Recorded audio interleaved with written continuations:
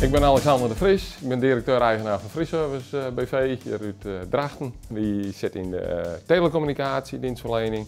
Dat is de vaste telefonie, en de mobiele telefonie en satellietcommunicatie. Dat doen we met name voor de zakelijke markt. Ik probeer je daar als Friese nuchtere partij helderheid en transparantie in te verschaffen.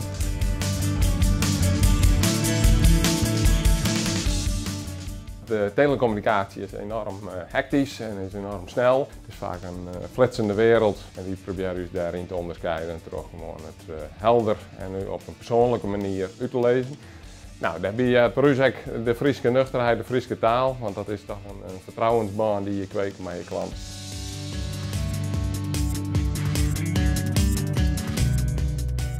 Ik ben Wendy de Vries. Ik werk bij Free Service als managementassistent en ik doe werkzaamheden op de helpdesk.